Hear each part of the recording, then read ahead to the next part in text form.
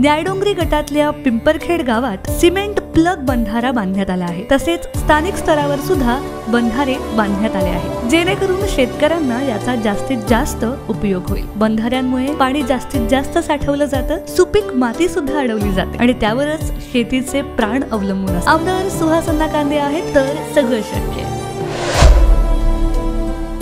गाथा नांदगाव मतदारसंघाच्या विकासाची.